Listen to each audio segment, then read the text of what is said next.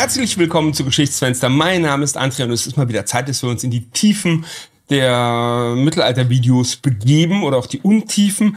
Ähm, auf YouTube, auf TikTok, überall gibt es Inhalte zum Mittelalter. Ich habe ein paar davon rausgesucht, relativ zufällig. Ich kenne keinen davon. Ich gucke sie alle mit euch zum ersten Mal an. Und da draußen die Weltpolitik gerade aus den Fugen gerät, dachte ich, wir entfliehen dem Ganzen eine Zeit lang und schauen uns großen Quatsch an. Ich hoffe, es ist viel großer Quatsch dabei. Also natürlich würde ich mich freuen, wenn weniger Quatsch dabei wäre, aber unterhaltsamer ist es mit Quatsch und ich glaube, die werden uns nicht enttäuschen. Bevor es losgeht, noch ein kurzer Einschub. Wir nähern uns Weihnachten und wer noch einen Adventskalender braucht, es gibt einen Adventskalender von Holy.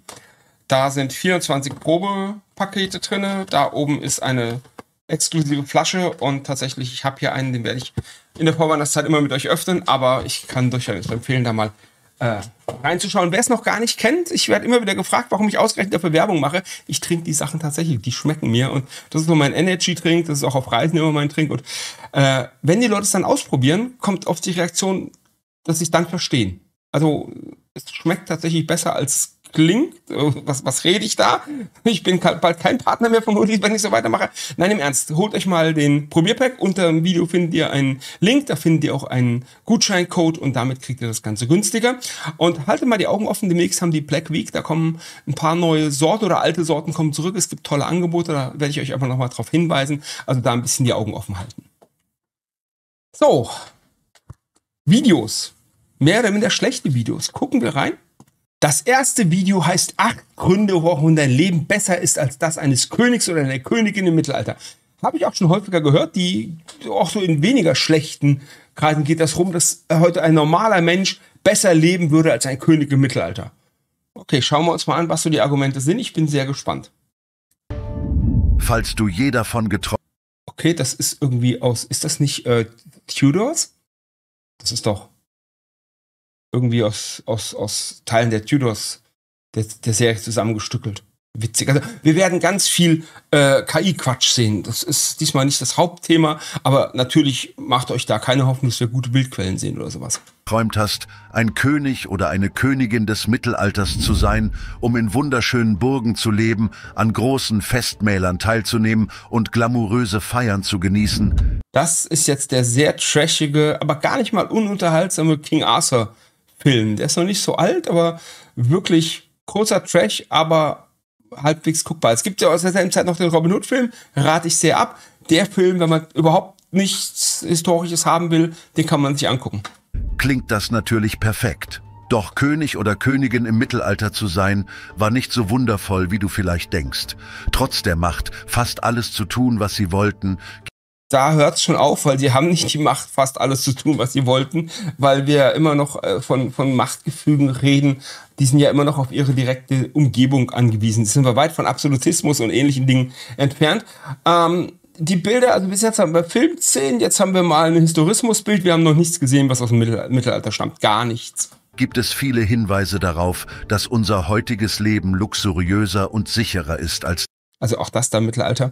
Und unser heutiges Leben ist luxuriöser und sicherer als damals. Sicherer? Ja, vielleicht. Luxuriöser? Ich bin auf die Argumente gespannt. Damals. Hallo Geschichtsreisende, heute zeigen wir euch, warum das Leben der Könige und Königinnen nicht so wunderbar war. Neugierig geworden? Dann lasst uns direkt... Geht so, aber wir gucken trotzdem weiter. Das ist jetzt so, oh, Mittelaltermarkt-Feeling? Schräg? Loslegen. Gebt schon mal euren Super-Like und los geht's mit dem Video. Also ihr könnt bei mir gerne ein Like da lassen, aber Super, Super Like habe ich gar nicht und bei denen lasst das sein.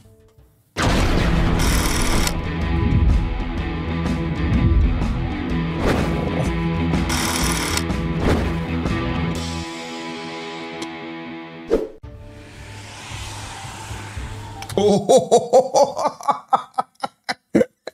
KI voll ins Gesicht.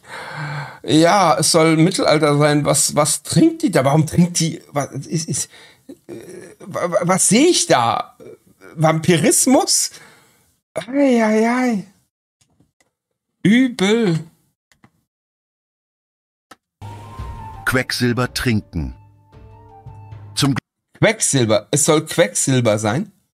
Also da muss ich euch was sagen. Quecksilber sieht anders aus. Glück gibt es heute mehrere Behandlungen gegen die Beulenpest. Auch ja, ja, es gibt Behandlungen gegen die Beulenpest, das ist richtig. Antibiotika. Mhm.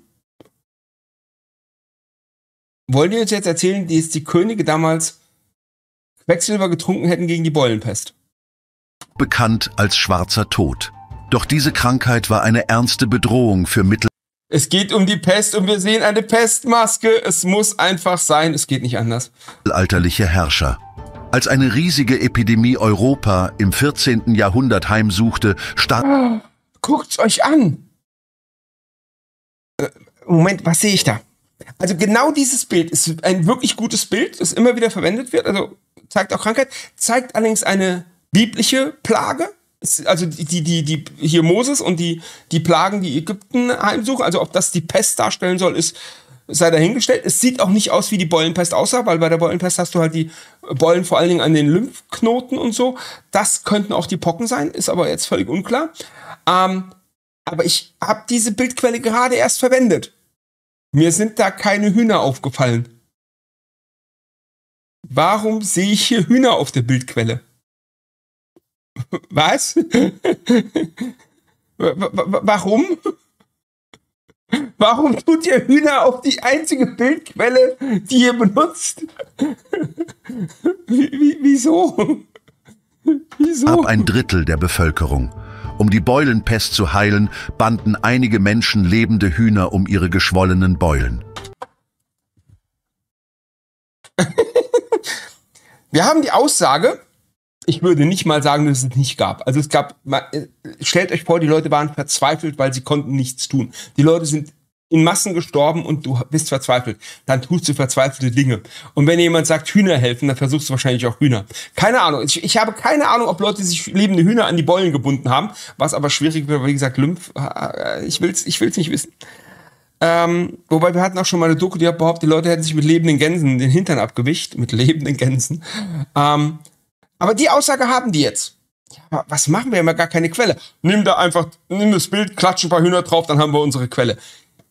Andere machen das auch, sie machen es aber geschickter. Aber das war gerade so, okay, die Leute binden sich also. Also, wie gesagt, ich bezweifle nicht, dass es im Einzelfall passiert ist. In der Masse habe ich noch nie gehört. Völlig neu. Tränke waren eine beliebte Alternative und enthielten meist Quecksilber und Arsen, die von ihren Arsen.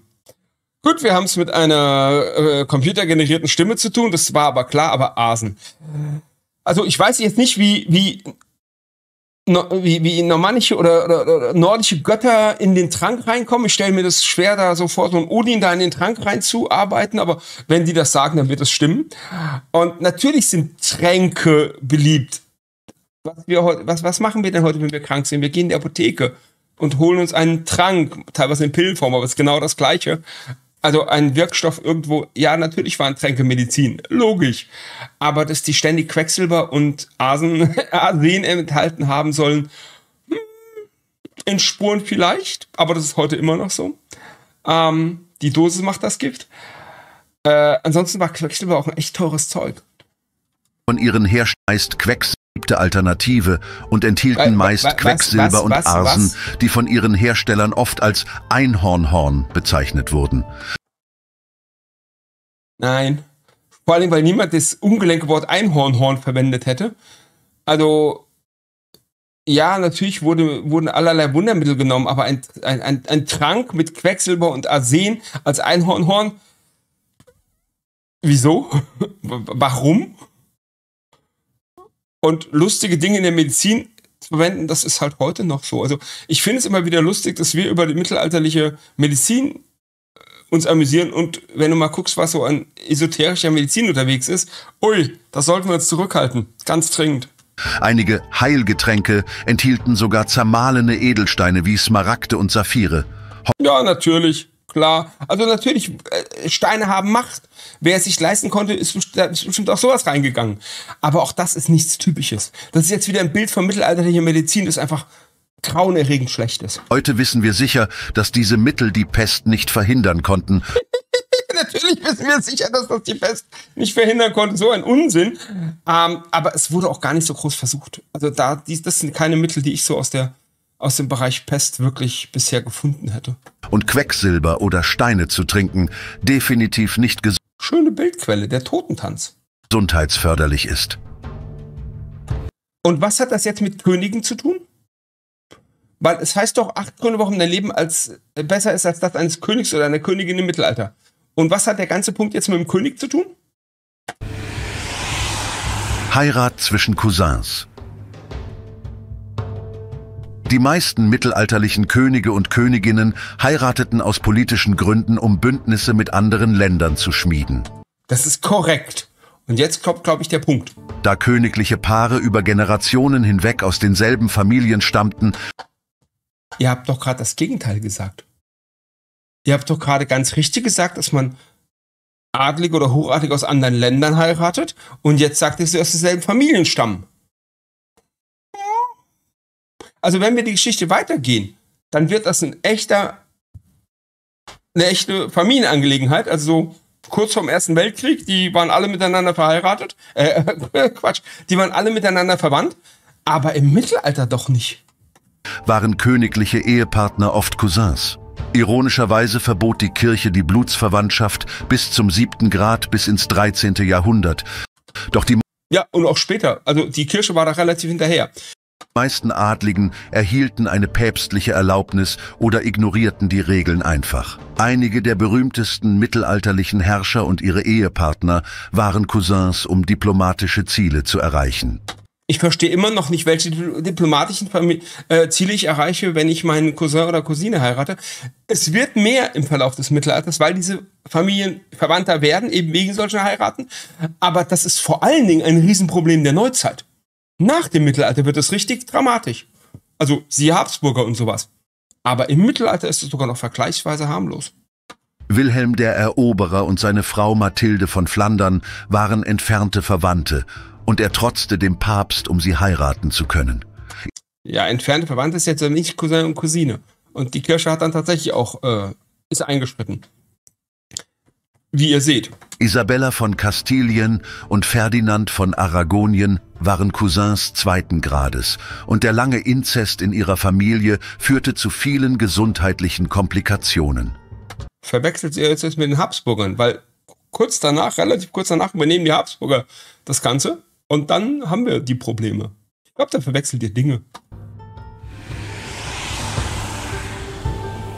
Kranke heilen. Also die, ich glaube, ich komme jetzt aufs Königsheil. Das ist tatsächlich eine Vorstellung. Also, kennt ihr aus Herr der Ringe? Aragon. Die Hände des Königs sind Hände von Heilern. Ja, das ist eine mittelalterliche Vorstellung. Also Tolkien hat da in alten Legenden sich bedient. Und also auch der, der, der Grund eben, ich, es ist, heute lebe ich besser als im Mittelalter, weil ich meine Cousinen nicht heirate und dadurch Macht und Einfluss bekomme. Jetzt ist es ein Gegenargument, weil meine Hände ja heilen können in, in der Vorstellung. Das göttliche Recht der Könige war mehr als nur ein Recht. Es war auch eine heilende Berührung. Die sogenannte königliche Berührung verlieh den Händen eines Königs oder einer Königin magische Kräfte und Bürger, die an Krankheiten litten, flehten die Herrscher um Berührung und Heilung an. Also die sind nicht ständig zum König gekommen und haben gesagt, bitte heil mich. Aber man muss sich klar machen, ein König ist eine, eine, eine quasi sakrale Figur. Das, der hat auch einen priesterähnlichen Status. Also die Krönung ist nicht das Wichtige. Die Salbung ist das Wichtige. Man wird zum König gesalbt. Teilweise bis heute, englische König wird bis heute gesalbt. Ähm, und dadurch ist er eben auch eine, eine quasi religiöse Figur. Und ja, so Vorstellungen, dass, dass, dass der König oder auch, auch, auch äh, Gegenstände des Königs heilende Wirkung haben können, gibt es tatsächlich. Man darf sich jetzt aber nicht vorstellen, dass da alle Kranken zum König gepilgert sind und hier, fass mich mal an, der ist ja kein Dienstleister. Viele Kranke hofften auf die Hilfe der Könige und Königinnen in der Hoffnung, geheilt zu werden. Herrscher mussten oft Hunderte von Kranken berühren, um ihre Heilkräfte zu gewähren. Weiß? Und diese Leidenden erlebten angeblich Wunderheilungen. Nicht nur durch die königliche Berührung, sondern auch durch einige Münzen. Heil Und, und, und, also ich habe es jetzt verstanden. Der musste so viele Menschen jeden Tag berühren, dass das ein Grund ist, warum ich heute besser lebe als ein König im Mittelalter. Und was sehen wir da jetzt? Bestes 17. Jahrhundert? Nee. Also, das ist jetzt lustig, weil der Mann im Vordergrund ist 17. Jahrhundert, die Frau im Hintergrund ist spätes 19. Jahrhundert, weißes Brautkleid, genau, kommt viel, viel später. Also haben wir es mit einem Historismusgemälde zu tun. Okay. Heirat mit zwölf Jahren. Hat denen mal gesagt, was heute auf der Welt so los ist? Wir wissen, dass das Mittelalter den Frauen nicht viele Rechte einräumte, vor allem wenn es um Heirat ging. Kommt darauf an, womit man es vergleicht. Im Mittelalter heirateten viele Mädchen mit Beginn der Pubertät oder sogar früher. Ja, nee, tatsächlich findet man das nicht. Also wenn wir bei politischen Ehen haben, die sind oft echt früh. Auch zwölf Jahre gibt es durchaus, wobei wir dann auch Belege haben, dass die Ehe dann nicht direkt vollzogen wird und solche Scherze. Aber wenn wir uns im bürgerlichen Bereich gucken, wo wir gute Quellen haben, bäuerlicher Bereich ist wieder schwieriger, bürgerlichen Quellen, da ist das gar nicht so häufig. Also so ganz junge Heiraten sind gar nicht mal so häufig. Ein Beispiel ist Lady Margaret Beaufort, die Mutter des späteren Königs Heinrich VII., die mit Edmund Heinrich des Siebten Tudor verheiratet war, als sie erst zwölf Jahre alt war. Mhm. Mit 13 Jahren war sie bereits Witwe und schwanger. Ein anderes Beispiel ist Eleonore von Kastilien, die den englischen König Eduard I. im Alter oh, Könnt ihr eure KI nicht besser trainieren? Eduard I. Ah! Von etwa 13 oder 14 Jahren heiratete. Ja, aber das ist halt in der Vormoderne wirklich verbreitet. Und guckt euch heute bitte auf der Welt um. Hm. Wilde Tiere. Wilde Tiere ist ein Grund, warum ich besser lebe als der König im Mittelalter. Könige gingen oft als Sport auf die Jagd, um zu zeigen, wie geschickt sie im Umgang mit Waffen waren. Doch ja, und auch einfach, weil es damals allgemeines Freizeitvergnügen war. Das ist gar nicht, also wieso zeigen die geschickt sind, also das ist so deren Sport. Bei diesen Jagdausflügen lief nicht immer alles nach Plan. Manchmal griffen wilde Tiere Hofmitglieder an und konnten sogar die Könige ernsthaft verletzen. Deshalb übernahmen in den meisten Fällen Soldaten die eigentliche Jagdarbeit. Was? Was? Die Könige gehen auf die Jagd und Soldaten leisten die Jagdarbeit. Und jetzt zeigt er ein Bild aus dem Buch der Jagd äh, von, von, von René de Anjou, einem Hochadligen, der seine Jagderfahrung da reinschreibt, ja. Und also ihr, zeigt die gegenteilige Quelle, weil der beschreibt sehr viel an Jagd. Und da ist nirgendwo von Soldaten, die die eigentliche Jagdarbeit erledigen. Übrigens ist das auch nicht der Job von Soldaten. Also ich würde da, wenn, dann würde ich meine Hausjäger nehmen, die den eigenen Job erfüllen und nicht irgendwelche Soldaten. Vielleicht seid ihr da wieder so im, in die Neuzeit gerutscht, wo dann irgendwelche Leute mit Kanonen auf Tiere jagen, also die werden da dahin getrieben und also mag sein, dass ja da irgendwelchen neuzeitlichen Kram verwechselt, aber im Mittelalter kann ich euch versichern, nein, die haben nicht die aber eigentliche Jagdarbeit von Soldaten verrichten lassen, weil das geht denen um die Jagd. Und übrigens wenn du mal guckst, England, englische, äh, englische äh, Königsfamilien, so Fuchsjagd. Also die machen, oder, oder äh, Mohunjagd in Schottland, keine Ahnung. Jagd gehört da immer noch dazu. Da hat sich nichts geändert. Gar nichts. Während der König nur den finalen Schlag ausführte und damit den Titel des Jägers erlangte.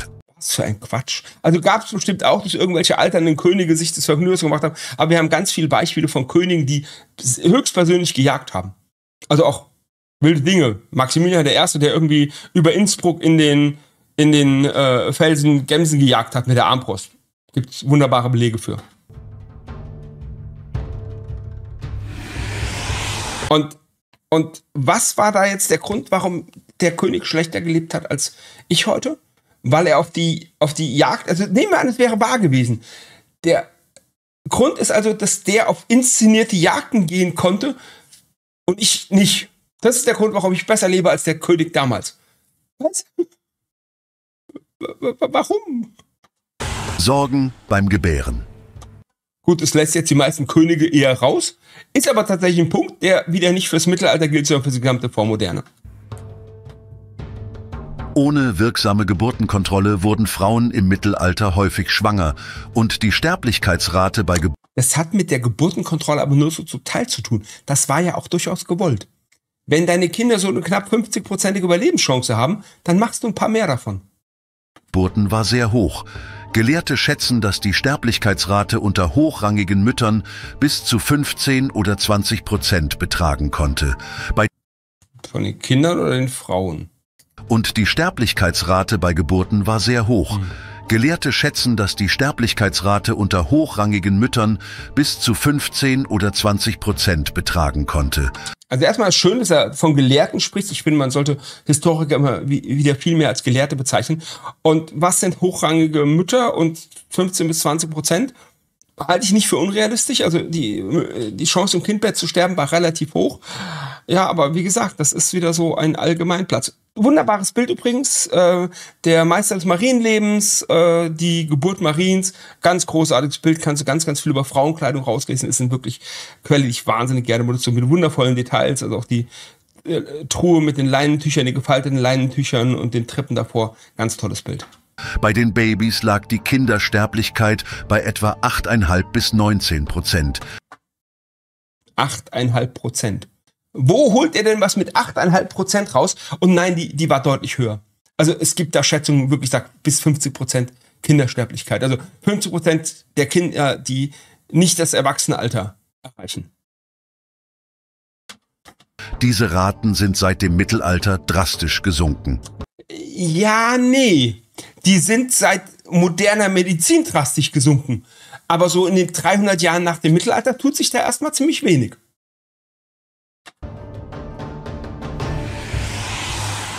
Okay, und die, gut, als Königin, ja, lasse ich gelten, aber warum ist es jetzt wieder ein Grund als König? Weiß ich nicht. Und jetzt sehe ich einen Abort. Hurra. Physiologische Bedürfnisse. Physiologische Bedürfnisse, das ist ja mal schön formuliert. Im Mittelalter, wenn die Könige und Königinnen mitten in der Nacht auf die Toilette mussten, mussten sie sich mit einem Nachttopf aus Keramik oder Holz begnügen, Und als Quelle dazu sehen wir ein viel, viel späteres Bild. Genau. der meist unter dem Bett stand. Diese Nachttöpfe wurden die ganze Nacht benutzt Das da ist auch bestimmt kein mittelalterlicher Nachttopf. und in manchen Fällen vom König und der Königin gemeinsam. Die Ja, auch schön, dass wir jetzt wieder dieses äh, Dreck auf die Straße schütten haben. Ist ein beliebter Topos, ist aber hier natürlich nicht Mittelalter, sondern viel, viel, viel später. Ähm, und auch meistens mit Narren oder Ähnlichem verbunden. Also das ist so aus dem Narrenschiff, da haben wir es zum ersten Mal. Hat, sagt überhaupt nichts über mittelalterliche Gepflogenheiten aus. Null. Und ja, natürlich haben die Nachttöpfe verwendet. Aber Entschuldigung, äh, ich kenne heute noch Leute, die das tun. Also so gerade wenn sie unterwegs sind, ja, durchaus. Ähm, ist jetzt nicht so schrecklich. Kann man machen. Stirbt man nicht von. Äh, aber abgesehen davon, gerade bei Königen haben wir halt anstatt des Nachttopfes auch gern den Stuhl, also einen Toilettenstuhl. Da gibt's auch Quellen zu, gibt's auch Abbildungen aus dem späten Mittelalter. Auch unterhalb von königlichen Haushalten haben wir auch zum Beispiel in bürgerlichen Haushalten, ich kenne Quelle aus Nürnberg, äh, Ende 15. Jahrhundert zeigt einen Toilettenstuhl.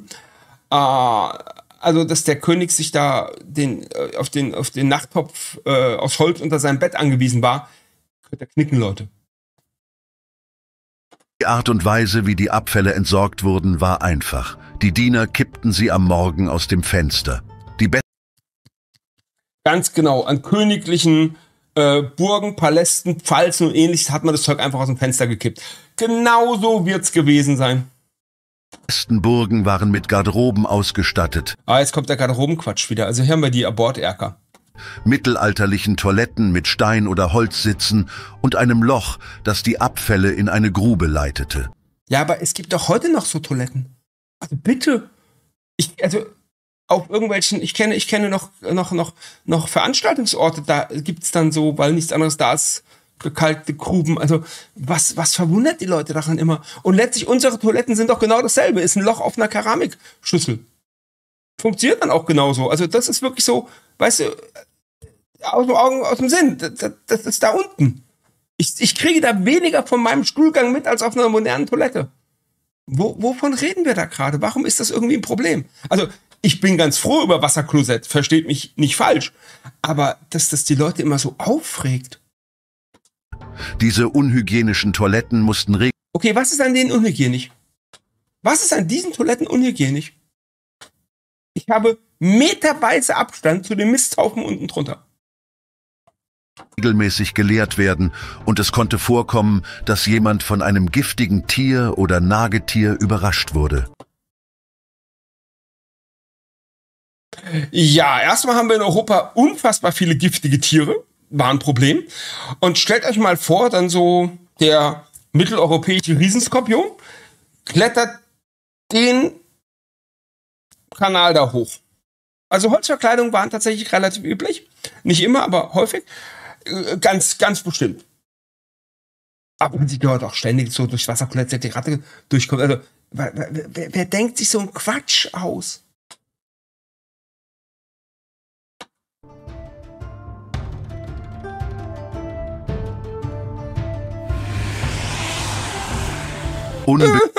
da sind wir wieder bei Bräugel.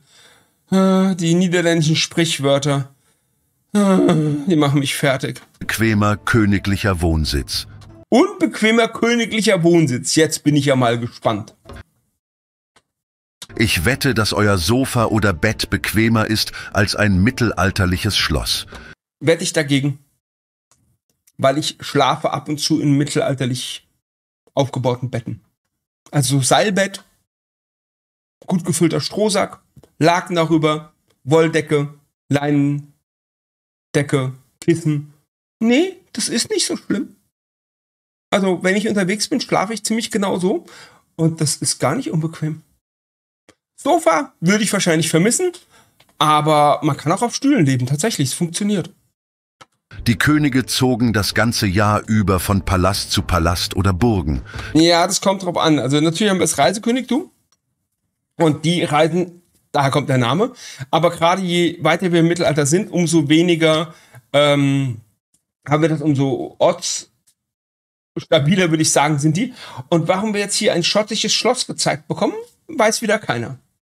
Das Leben in einer Burg war nicht immer luxuriös. Die meist aus Stein gebauten Burgen waren oft feucht und übelriechend. Also im Vergleich zu einem modernen Gebäude ja, aber übelriechend weiß ich nicht warum.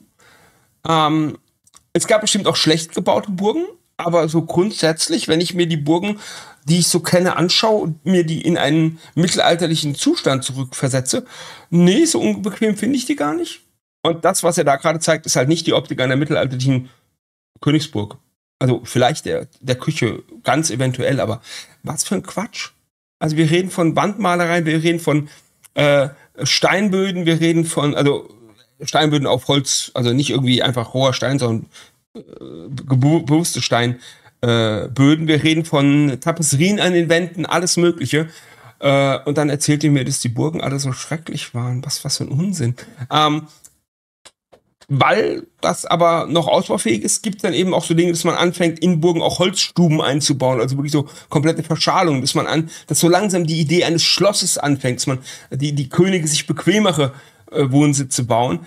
Aber so ganz grundsätzlich, also ich, ich, ich meine, ich wohne, ich wohne bequem, aber so, ich lebe ja auch ab und zu eine Woche lang oder so im Zelt mit sehr mittelalterlichen Ding. Natürlich habe ich äh, Luxus, den die nicht haben, mit dem ich irgendwie den äh, die, die Kühlbox hinterm Vorhang habe und mein Handy auch nebenbei aufladen kann. Aber so ganz unbequem finde ich das gar nicht. Deswegen mache ich es ab und an. Im Winter waren sie kalt und dunkel, konnten die Wärme kaum speichern und waren durchfeuchtet. Warum? Warum waren die durchfeuchtet?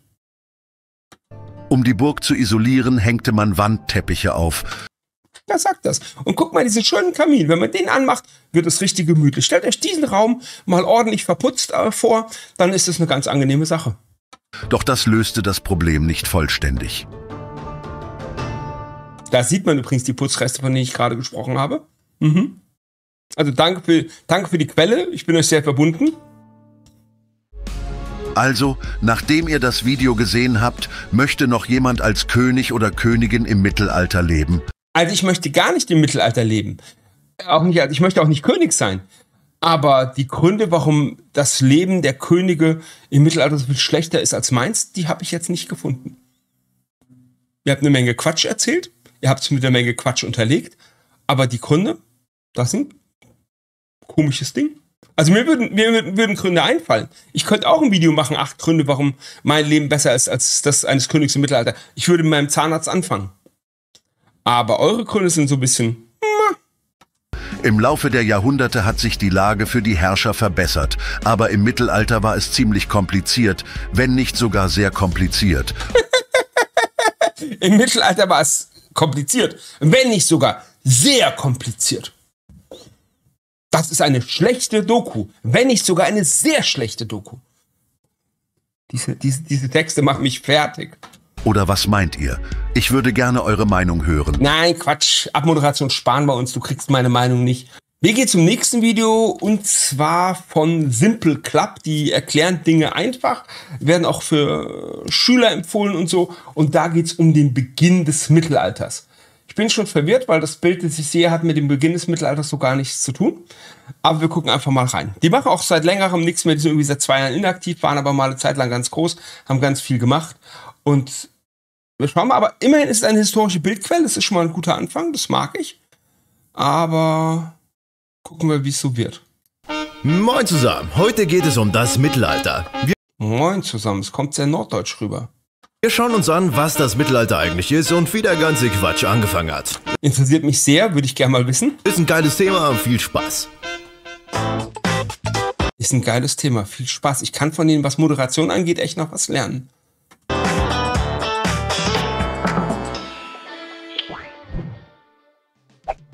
Ja, was ist jetzt eigentlich das Mittelalter? Ach, wir sind nicht im Norddeutschland, wir sind im Ruhrpott. Das ist doch auch mal schön. Das Mittelalter ist in Europa die Epoche zwischen dem Ende der Antike und dem Beginn der Neuzeit.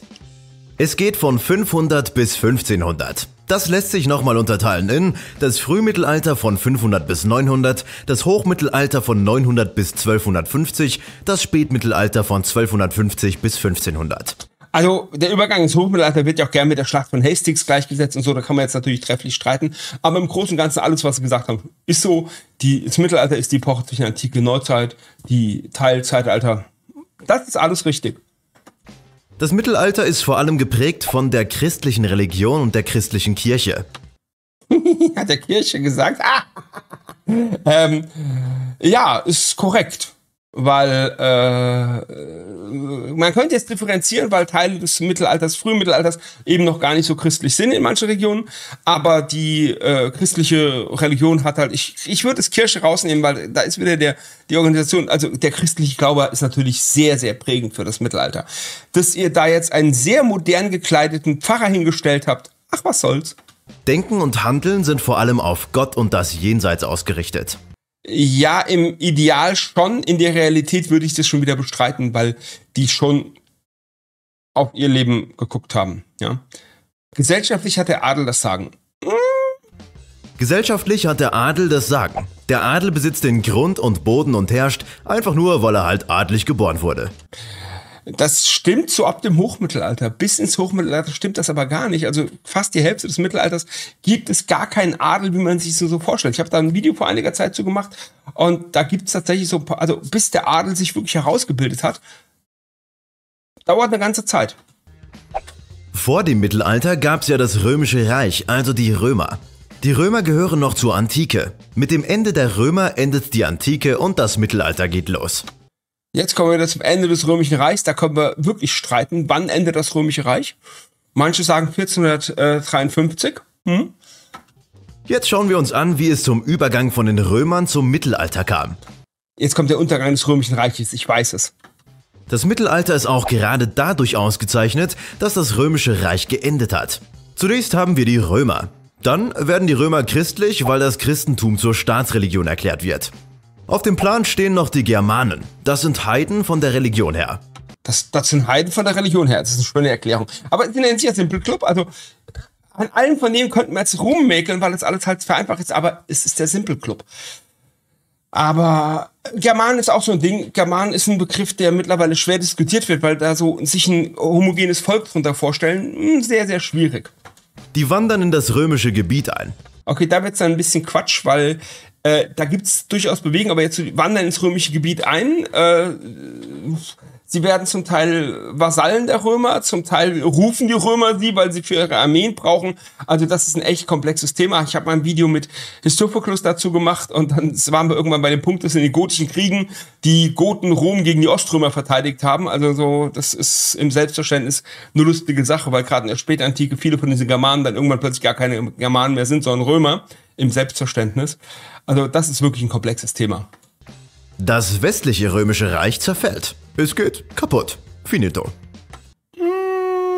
Dann verschmelzen die Germanen und die christlichen Römer. Was? Was?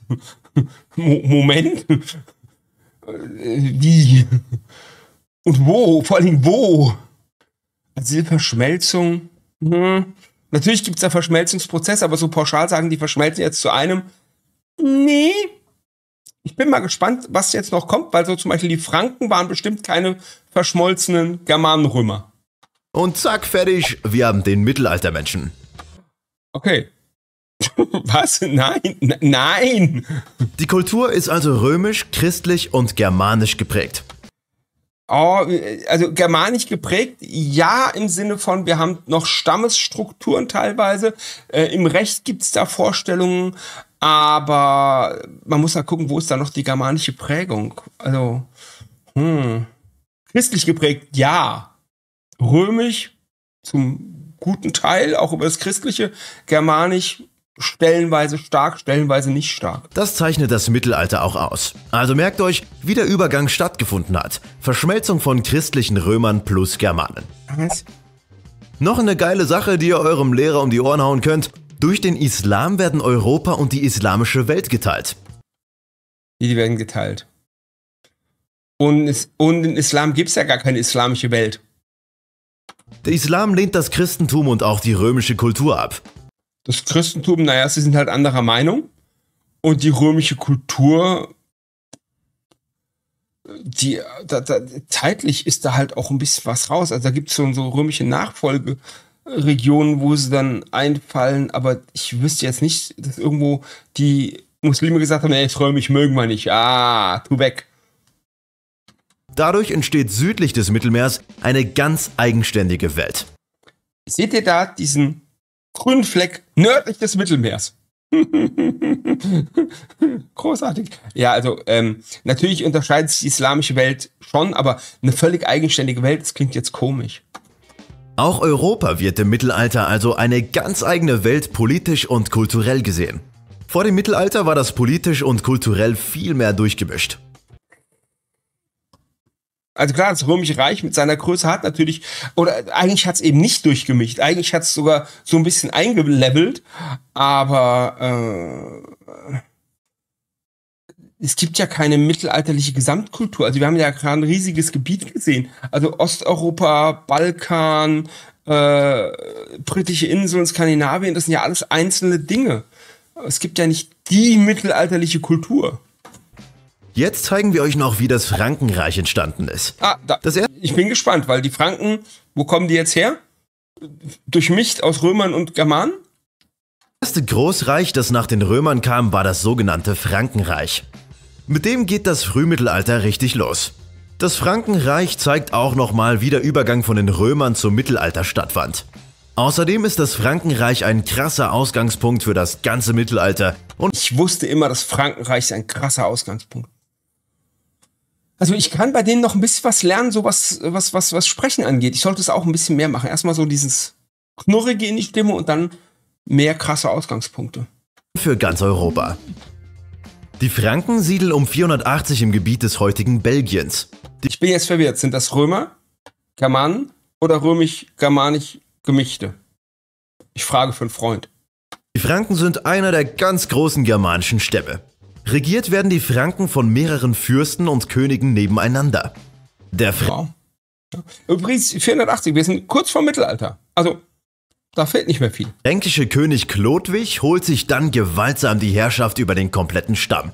Wie das damals halt so Leute gemacht haben, tatsächlich. Dann dehnt Chlodwig die Herrschaft über ganz Gallien aus. Dabei erobert er auch ein römisches Teilreich. Und da kommt jetzt die Vermischung, oder? Das war ein letzter Rest des westlichen römischen Reiches, der sich bis dahin über Wasser gehalten hat. Ich dachte, Finito. Das habt ihr vor zwei Minuten Video gesagt. Westliches Reich kaputt, finito. Jetzt gibt's ja doch noch Nachfolgeregionen. Okay. Am Ende der Eroberungen hat Chlodwig ein großes fränkisches Reich geschaffen. Nach heutigen Verhältnissen war das Gebiet quasi ganz Frankreich und auch der Südwesten von Deutschland. Auch da, ich sehe, ich, ich sehe doch gerade auf eurem Bild, dass es nicht ganz Frankreich ist. Warum? Und übrigens, liebe Belgier und liebe Niederländer, es tut mir leid, dass man euch gerade komplett außer Acht lässt. Luxemburger noch dazu. Auch ihr habt natürlich zum Frankenreich gehört. Gern geschehen. Jetzt macht König Chlodwig was Gutes. Er zerstört die römische Infrastruktur nicht, sondern knüpft vielmehr daran an. Welche römische Infrastruktur? Da ist finito. Außerdem vermischen sich die fränkischen Eroberer mit den einheimischen gallischen Römern. Gallische Römer. Also haben es die Römer erst mit den Galliern vermischt und dann die mit den Germanen. Ich habe den Faden verloren. Also der zweite Teil dieses Videos widerspricht in quasi allem dem ersten Teil. Das Allerwichtigste ist aber folgendes. König Chlodwig lässt sich 498 christlich taufen. Riesending. Dadurch hat er den religiösen Gegensatz zwischen den heidnischen Franken und den katholischen Römern beseitigt. Äh, erstmal, die sie ja nicht als katholisch bezeichnet, sondern einfach als Christen. Das ist, das, das sind wir noch weit vor dem ersten Schisma. Ähm, und nur weil der sich jetzt taufen lässt, ist der Gegensatz beseitigt. Hm, kühn, kühner Gedanke. Chlodwig sichert somit dauerhaft seine Herrschaft. Außerdem unterstützt ihn von da an die katholische Kirche. Ja, aber die gibt's halt in der Form noch gar nicht. Also es gibt schon so einen Papst, der darum ringt, wichtig zu sein. Äh, gibt andere Stimmen, die sagen, nee, so wichtig bist du gar nicht. Also er hat sich garantiert die Unterstützung der lokalen Kirchenteile gesichert, der Bischöfe, äh, der Klöster. Also da, da, da, er hat sich da Leute gesichert. Aber die katholische Kirche in Großbuchstaben, ja, die gibt's in der Form, wie man sich das so lustig vorstellt, noch gar nicht. Deswegen kann das Frankenreich bestehen bleiben. Vom Frankenreich. Ach, ach, weil er die Kirche auf seiner Seite hat, kann das Frankenreich bestehen bleiben. Wenn nicht, hätte es verboten. Oder was? Aus kann das Europa des Mittelalters dann richtig loslegen. Jetzt äh, wisst ihr auch, wie der Laden losging. Also merken, Frankenreich Nein. als erstes Großreich nach den Römern. Nein, ich weiß nicht. Also ich habe jetzt eine Menge darüber gelernt, wie die Römer nach dem Untergang des Römischen Reichs oder vielleicht doch nicht Untergang, weil es gibt noch eine Infrastruktur, sich mit den Germanen vermischt haben. Das habe ich gelernt. Und sonst? Dabei habt ihr auch ganz anschaulich gesehen, wie sich die germanischen Franken mit den christlichen Römern vermischt haben. Aber es waren doch gallische römische Vermischungen. Ich verstehe es nicht. Was müsst ihr aus dem Video mitnehmen? Das Mittelalter ist die Epoche zwischen dem Ende der Antike und dem Beginn der Neuzeit. Korrekt. Es geht von 500 bis 1500. Korrekt. Eingeteilt wird es in Frühmittelalter 500 bis 900, Hochmittelalter 900 bis 1250 und Spätmittelalter 1250 bis 1500. Korrekt. Vor dem Mittelalter war das Römische Reich am Start. Korrekt. Indem das westliche Römische Reich zerfällt, geht das Mittelalter los. Es vermischen Quasi sich korrekt. Christentum, römische Kultur und germanische Kultur. Außerdem wird Europa von der islamischen Welt politisch und kulturell getrennt. Ist halt die Frage, ob es vorher da eine Verbindung, also wenn wir von, von Rom als Stadt ausgehen, bestimmt, gehen wir von nördlich der Alpen aus, also da, das Frankenreich zum Beispiel, die hatten auch vorher keinen Kontakt zur islamischen Welt. Woher denn? Das erste Großreich im Mittelalter ist das Frankenreich. Mhm. Es entsteht durch Eroberungen von König Chlodwig um etwa 500. Mhm. Durch die christliche Taufe Chlodwigs bleibt das Frankenreich bestehen. Verstehe ich nicht so ganz. Also er hat natürlich Unterstützung gesichert und alles, aber das ist halt jetzt Spekulation, ob es ohne die Taufe untergegangen wäre. Wenn euch das Thema noch mehr interessiert, dann kommt jetzt auf thesimpleclub.de. Ansonsten haut rein, Leute, wir sehen uns beim nächsten Video und bis gleich. Okay, lustigerweise, der, die, die Untertitel haben sich deutlich äh, unterschieden. War mal interessant, okay. Kraft fürs nächste Video? Terra X erklärt, also Terra Explain heißt das Ganze, ist Anfang des Jahres erschienen, ist super kurz und es geht um Kleiderordnung. Kleiderordnung ist ein interessantes Thema, kann man ganz viel zu erzählen. Ich sehe hier schon, das sind Bildquellen. Ich glaube, das ist aus dem Codex Beham, aus Krakau, der ist aber 16. Jahrhundert.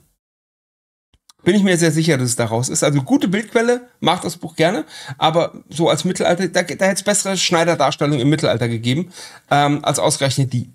Hm. Wer sich wie zu kleiden hatte, war im Mittelalter vorgeschrieben. Als Pauschalaussage falsch. Wir haben im Mittelalter Kleiderordnung und zwar aus zwei Richtungen. Es gibt einmal die Reichskleiderordnung, also die, in der versucht sich der Adel von den Bürgern abzugrenzen, weil ihr nicht Adelige, ihr dürft nicht alles tragen, was ihr wollt. Und dann gibt's die städtischen Kleiderordnungen, bei denen die Bürger zu versuchen, von den Bauern abzugrenzen. Und da gibt's auch, es gibt auch immer wieder Sachen, also auch, auch Aussagen, was wer tragen darf. Aber all diese Kleiderordnungen haben eins gemeinsam, sie scheinen nicht so wahnsinnig viel Impact gehabt zu haben. Also in den Städten haben wir dann die Strafzahlungen, die einfach geleistet wurden. So, ja, ich trage halt, was ich mag und zahle die Strafe, ich kann es mir leisten. Und auch sonst gibt's immer wieder Klagen und die sind auch, die findet man immer wieder, aber die Vorstellung, dass das gesamte Mittelalter über eine Kleiderordnung geherrscht hat, das stimmt so nicht. Also gerade früh Hochmittelalter, ne. Immer wieder Verordnungen im Kleinen, aber keine, keine Gesamtreichskleiderordnung für das Mittelalter. Unfug. Oberste Regel, anständig sollte jeder aussehen, also dem eigenen Stand angemessen. Na, erstmal geht es darum, wir reden von einer christlichen Gesellschaft und Moral. Züchtig gekleidet ist ein Ding. Fragen Sie mal, was ist züchtig gekleidet? Und da ändert sich enorm viel. Also der hochmittelalterliche Adlige, der sieht für uns fast schon feminin aus, weil er weite, kleiderartige, also wirklich so Kleid bis zum Boden trägt zum Teil, äh, hübsch bestickt und alles. Also da, da, da, Mode im Mittelalter ist eine unfassbar wandlungsfähige Angelegenheit und unter dem Begriff im Mittelalter seid ihr schon wieder hart daneben, weil ihr redet gerade komplett vom späten Mittelalter. Gut, das kann man mir auch manchmal in meinen Videos vorwerfen, aber ich sag's dann eher noch dazu. Vorgeschrieben wurde vor allem, was nicht getragen werden dürfte. Spitze. Also Kleiderordnung waren wirklich gerne eine Negativliste. Und jetzt kommt zu spitzen Schuhen. Schnabelschuhe beispielsweise, die waren dem Adel vorbehalten. Äh, nein. nein. Also wo Sie recht haben, es gibt in den Kleiderordnungen immer wieder ähm, Verbote von Schnabelschuhen. Bei Frauen war alles offenherzige und figurbetonte verpönt. Äh, offenherzig, ja. Wobei die Frage ist, was offenherzig? Figurbetont. Wir haben sehr figurbetonte Kleidung. Also wirklich figurbetont. Und das, was wir hier sehen, ist auch schon wieder, wenn es überhaupt Mittelalter ist, dann ist es extrem spät Mittelalter, so 1490er. Ich würde eher auf frühes 16. Jahrhundert tippen. Und ja, mit dem Kleid deutlich 16. Jahrhundert. Und die Aussage, dass es keine figurbetonte Kleidung gab, äh, haben wir nicht eben das Höllenfensterkleid gesehen? Also hier, äh, entschuldigen, das, ich habe gerade zehn Sekunden zurückgesprungen. Wenn das keine figurbetonte Kleidung ist, was denn dann? Was wollt ihr denn noch? Bikini? Juden wurden in fast ganz Europa verpflichtet, einen gelben spitzen Hut zu tragen. Ein ja, nee, nee, nee, die Pflicht war tatsächlich nicht der gelbe spitze Hut. Der wird zwar als typisch jüdische Tracht angesehen, was die Juden in ihren eigenen Quellen anders sehen, aber ähm, die häufigste Art der Kennzeichnung ist der gelbe Ring. Und auch der, wenn wir über das Mittelalter reden, kommt der auch relativ spät. Und das hier wird als Tracht gesehen. Das ist ganz, also es gibt teilweise die Verpflichtung, aber die ist eher selten. Der Ring oder ähnliche Kennzeichen, es gibt verschiedene Kennzeichnungen da immer wieder. Aber man kann tatsächlich sagen, ab dem Hochmittelalter gibt es Kleidungsvorschriften für Juden, ab dem Spätmittelalter sind sie allgemein üblich und ähm, haben auch oft was eben mit der Farbe Gelb zu tun, aber tatsächlich der gelbe Hut. Mhm. Eine unverhohlene Stigmatisierung. Jo. Der Bauer indes trug Tag ein, Tag aus dasselbe Gewand. Erstens, nee, Bauer ist wieder so eine Zusammenfassung. Ihr werft gerade 90 Prozent der Bevölkerung in ein, über, äh, auf einen Haufen. Ähm, da können auch Wohlhabende sein. Jetzt habt ihr hier ein Bild aus dem äh, Trerich Oeure, das Stundenbuch des Duc de Berry. Und da zeigt er natürlich eins der Bilder, wo man einen zerlumpten Bauern sieht. Es sind im selben Buch auch Bilder von ganz unzerlumpten Bauern. Aber es muss jetzt das sein, natürlich stellt dann einen arbeitenden Menschen dar. Und ich guck mal ganz nebenbei, der trägt immer ein Blau, also puh. Ähm, aber die Vorstellung, dass die den ganzen Tag immer dasselbe getragen haben, das ist halt eine völlige Versimplifizierung. Also die, die, die, die Idee von dem armen Bauern, der nur das hat, was er am Leib trägt. Wer einen Hof hat, ist Oberschicht im Dorf. Der ist nicht Unterschicht. Das sind Knechte und ähnliches. Ähm, aber so ist das Mittelalter halt nicht, weil die Leute, es ist ja keine, äh, also das, das ist die Idee des Mittelalters als kollektiver Katastrophe, in der die Zivilisation Pause macht. Ist es halt nicht. Außer man heißt Terra X und zeigt solche Bilder dann halt schon. Kittel, Hose, Buntschuh, die immer wieder geflickt wurden. Ja, natürlich werden die geflickt. Logisch. Aber sie werden halt gut geflickt, weil die Leute können das ja, was sie tun. Das war's schon. Oh, wow. Krass, was man so alles für einen Unfug in so kurzer Zeit bekommt. Also, das war so keine Aussage, wo ich nicht widerspreche und eigentlich auch keine Aussage, die wirklich gut war. Es wäre besser gewesen, wenn man gesagt hat, Kleiderordnung, vor allen Dingen im späten Alter, als Abgrenzung zwischen den Ständen, hätten wir was draus machen können. Okay. Nicht gut. Dann habe ich noch ein bisschen TikTok für euch. Wollen wir TikTok? Ist ja nicht mehr lang. Ihr seid auf der Zielgeraden, aber jetzt wird es natürlich ganz schlimm. Äh, wie heißt das dumme, komische Ding? Hat keinen Titel. Okay. Gucken wir rein. Im Mittelalter gab es einen ungewöhnlichen Beruf, der die Aufgabe hatte, den König zur Toilette zu begleiten und sich um seine intimsten Bedürfnisse. Warum können die die Umlaute nicht in dick machen? Nicht mal das kriegen sie hin. Und alle Bilder, die wir sehen, sind alle KI und haben nichts mit dem Mittelalter zu tun. Warum wird jetzt hier der, das linke Bein von diesem König eingekreist? Was verstehe ich gerade nicht? Also die haben jetzt einen, die haben einen, einen, einen Diener, den sie mit auf die Toilette nehmen. Okay, soweit so. Hm. Aber warum, warum dieser, dieser rote Kringel um das Bein? Seine intimsten Bedürfnisse zu kümmern. Ist sein Oberschenkel sein intimstes Bedürfnis? So als Frage? Der Angestellte betrat nicht nur die Toilette. Dieses Waschbecken. KI macht mich immer wieder fertig. Was für ein Unsinn sondern musste auch die intimen Teile des Königs reinigen, einschließlich des Schmückers. Was ist ein Schmücker? Gibt es da Wörter, die ich nicht kenne? Was ist ein Schmücker? Ist das irgendeine ungelenke englische Übersetzung, die ich gerade nicht verstehe? Mause, Blätter und, wenn nötig, die eigene Hand wurden verwendet, um. Was sind Mauseblätter? Also, ich, ich, ich, im Ernst. Die hat mich gerade völlig verloren. Diese mühsame Aufgabe zu erledigen. Er bereitete duftende Handtücher vor und brachte sogar entspannende Musik.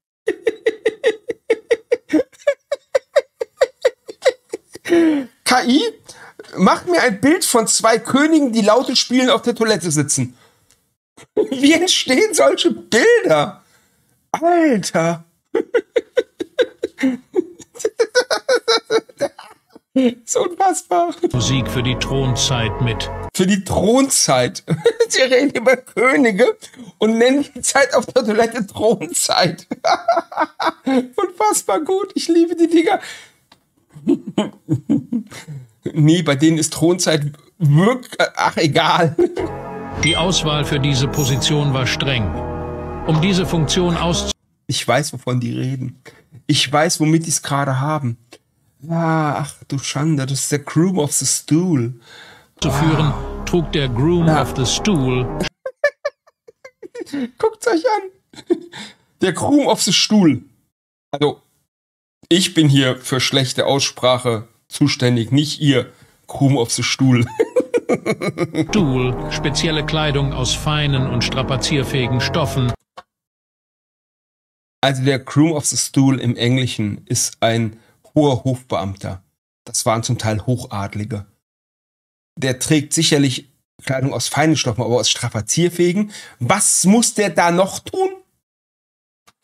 Und musste sich die Hände mit duftendem Wasser waschen. Ah, er muss sich die Hände mit duftendem Wasser waschen. Der arme Mensch. Ah, ich, ich, ich fühle Mitleid mit ihm. Wie schrecklich. Um sie für den Einsatz vorzubereiten. In den Einsatz. Was sehe ich da? was kommt jetzt? Schon wieder zwei Könige auf dem modernen. Aber, äh, kommt da jetzt der Einlauf? Ich frage. In der Regel wurden hochvertrauenswürdige Adlige ausgewählt. Sie verdienten sehr gut, erhielten Reichtümer, Land und eine herausragende Position am Hof. Ja, der Groom of the Stool ist eine herausragende Position am Hof, ganz genau. Hat mit dem Mittelalter übrigens gar nichts zu tun. Also wirklich nicht mal im Hauch hat das irgendwas mit dem Mittelalter zu tun. Würden Sie an diesem Job interessiert sein? Hinterlassen Sie Ihren Kommentar. Nein, nein, tue ich nicht. Tue ich nicht.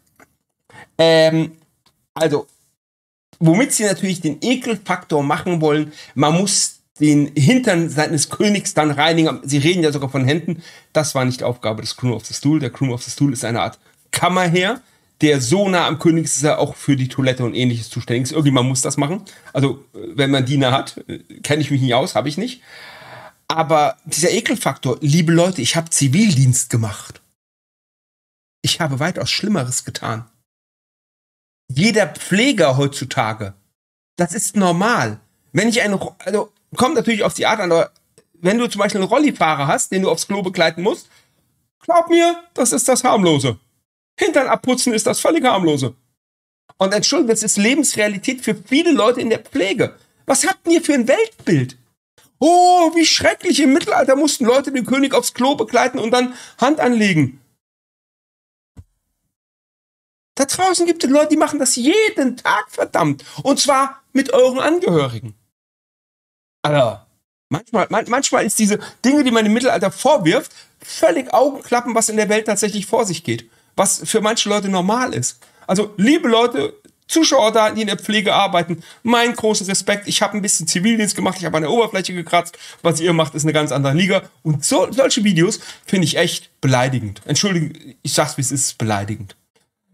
Der Groom of the Stool, wie gesagt, ist ein ähm, Beamter am Hof. Ich, ganz spät im, im späten Alter taucht er auf. Ich glaube, der taucht bei einem der äh, während der Rosenkriege auf, äh, da findet man den. Und die Tudors sind dann ganz bekannt, dass sie ihren Groom of the Stool haben. Das kommt natürlich vom Toilettenstuhl. Ganz klar hatten wir vorhin ja beim anderen Thema schon mal. Es gab Toilettenstühle, Könige gehen auf den Toilettenstuhl und irgendjemand kümmert sich darum. Der Groom of the Stool hat den Mist nicht weggemacht. Dafür gab es dann niedere Lakaien. Weil das sind wirklich Adlige. Das sind am Anfang äh, gerne so Gentry, Niederadlige, später werden es wirklich Adlige, da hast du noch ein paar, paar Dukes und ähnliches drunter. Ähm, den Job zu haben, heißt, du bist so mit dem König. Du bist ganz eng an ihm dran, du bist innerster Kreis. Dann hat er dir den Titel eines Crew of the Stool ähm, gegeben und lustigerweise, ich glaube, Anfang des 20. Jahrhunderts wird der Titel aufgegeben. Bis dahin gibt's ihn immer. Und der wird irgendwann so eine Art königlicher Schatz Verwalter. Also das ist der, der sich um die private Kasse des Königs kümmert. Also ja, ja, ich würde den Titel eines Groom of the Stool nehmen, wenn einer vakant wäre. Also zählt mich dazu, kein Thema. Ähm, weil, wie gesagt, es gibt Leute, die machen den Job für erheblich weniger Geld. Hm? So wurde im Mittelalter der Verrat der... Oh, was für eine Stimme. Schlimm. Also ich entschuldige mich jetzt schon für die wirklich schreckliche Stimme. Die schlägt alles, was wir bisher haben. Die ist wirklich grausam. Ähm, das habe ich genommen, weil ich weiß ungefähr, worum es geht. Und es ist ein Topos, der immer wieder kommt. Wir ihr seht schon schlimmste KI-Bilder. Ganz schlimm, die kriegen nicht mal Augen hin. Äh, nee, der hat auch tatsächlich an der linken Hand einen Finger zu viel. Seht ihr das? Also KI vom Allerschlechtesten. Und lasst euch überraschen, die Geschichte ist wirklich absurd. So wurde im Mittelalter der Verrat der Männer vermieden. Es gab eine französische Stadt im Mittelalter, wo... Es gab eine französische Stadt im Mittelalter. Wenn sie Namen genannt hätten, dann wäre ich so ein Hauch mehr geneigt, irgendwas zu glauben. Aber da sie keine Namen nennen, ist das halt. Es gab im Mittelalter eine französische Stadt im Mittelalter, wo verheiratete Frauen äh, ihren Männern den, das Messer in die Kehle gehalten haben. Was sehe ich da? Und warum sehe ich zwei KI-Bilder und unten ist ein Gullideckel, ein mittelalterlicher handgeschmiedeter Gullideckel? Was für ein Quatsch! Aber die Story, die ist gut. Wo verheiratete Frauen eine ziemlich eigenartige Gewohnheit hatten. Morgens fügten sie dem Frühstückskaffee Der mittelalterliche Frühstückskaffee. Wir wissen alle, wir wissen alle, im Mittelalter haben die Männer ihren Frühstückskaffee getrunken. Das muss man doch merken. Und die Frauen haben dem was hinzugefügt. Mhm. den sie für ihre Ehemänner zubereiteten, eine kleine Menge Gift hinzu. Ja klar, eine kleine Menge Gift. Was soll schiefgehen? Hier, Mann, hast ein bisschen Gift. Hm. Wenn die Männer abends nach Hause zurückkehrten, erhielten sie das Gegenmittel, um die Wirkung des Giftes neutralisieren. Auf diese Weise zu neutralisieren, liebe KI-Stimme. Aber genau so funktionieren Gifte nicht. Es gibt keine Gifte, die ich einem Mann morgens gebe und abends gebe ich ihm das Gegengift. Was für ein unfassbarer Quatsch. Also, liebe Menschen da draußen mit pharmakologischen äh, Grundwissen, korrigiert mich, wenn es falsch ist, aber verursachte das Gift keine Schäden oder Symptome bei also ein Gift, das den ganzen Tag über keine Symptome hervorruft, aber dann. Wow. Wow. Den Ehemännern. Diese eigenartige Praxis hatte einen spezifischen Grund. Falls die Ehemänner für längere Zeit nicht zu Hause waren und es zu Verzögerungen bei der Verabreichung des Gegenmittels kam, begannen sie Symptome wie Übelkeit, Kopfschmerzen, Erbrechen, Schmerzen und Atembeschwerden zu zeigen. Wie super! Also es geht natürlich darum, dass die Männer nicht fremd gehen sollen. Das ist die Story, die kenne ich. Ja, aber jetzt ist ja, ich bin nicht nach Hause gekommen, war auf dem Feld, mussten im Nachbarn noch was abholen. Ja, oh, ich, ich sterbe fast. Was? Ja, ja, das, das erzählen die euch gerade ernsthaft als Geschichte. Die wollen euch ernsthaft diese Geschichte auftischen. Die habe ich auch schon in anderen Quellen gehört. Gibt natürlich keinerlei Belege dazu, weil sie ist von vorne bis hinten großer Humbug. Aber der Frühstückskaffee war immerhin neu, den kannte ich in der Form noch nicht. Dies war eine ziemlich effektive Methode, um sicherzustellen, dass sie jede Nacht nach Hause zurückkehrten, um zu verhindern, dass sie sich in den mittelalterlichen Kneipen verirrten. Auf den Dörfern oder in der Stadt. Also wenn die, wenn die Männer abends nicht brav nach Hause gekommen sind, haben sie Symptome bekommen, hat sie aber nicht gestört, hat keiner nachgefragt. Die Männer in dieser Stadt waren einfach abends immer alle zu Hause, um ihr Gegengift abzuholen. Das hat, die Kneipen gab es in der Stadt natürlich nicht, weil Okay, das war's. Äh, schade eigentlich. Ich hätte gern mehr von dem Quatsch gehabt. Ja, ja, war wieder alles dabei. War wieder echt alles dabei. Es war Sachen, es gab Sachen, die waren gar nicht so blöde. Es gab Sachen, die waren absolut grenzdebil. Boah, einordnen, müssen wir das jetzt einordnen, weil oh, es ist halt, das ist halt alles so Trash-Kram. Bunt gemischt. Wir hatten gerade auf YouTube, auf TikTok, aber auch öffentlich-rechtlich, muss man dazu sagen. Und es war, war auch ordentlicher Blödsinn dabei. Es zeigt ja wieder, Mittelalter ist einfach Projektionsfläche für alles. Und man kann das Mittelalter auch darstellen, wie man will. Typ mit Krone auf einem modernen Klo, oh, ist Mittelalter. Hm, passt. Der Frühstückskaffee, ja, ist Mittelalter, passt auch. Es geht alles.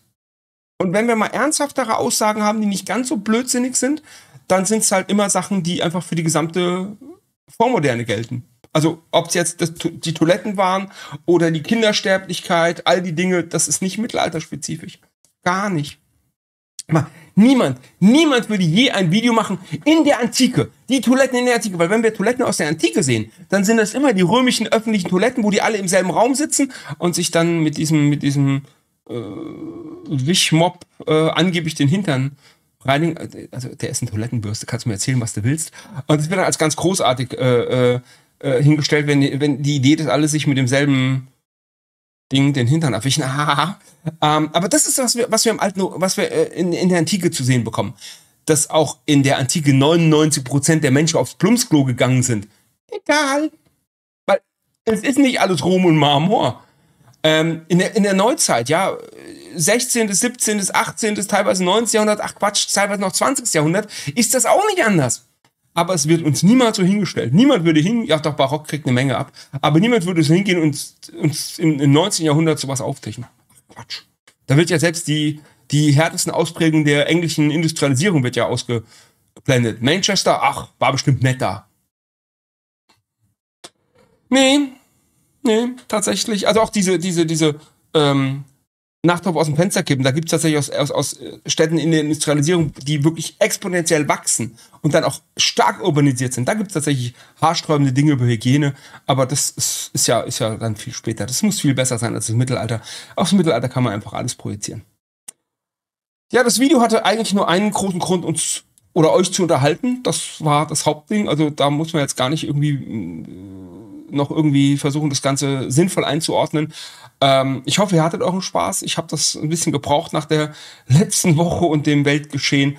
Ähm, schreibt in die Kommentare, wollt ihr sowas ab und zu mal wieder haben? Darf es auch einfach mal völlig hirnlos sein, wie in diesem Fall. Ähm, ich hoffe, ihr hattet Spaß, denn darum ging's. Und wenn ihr Spaß hattet, guckt noch mal rein.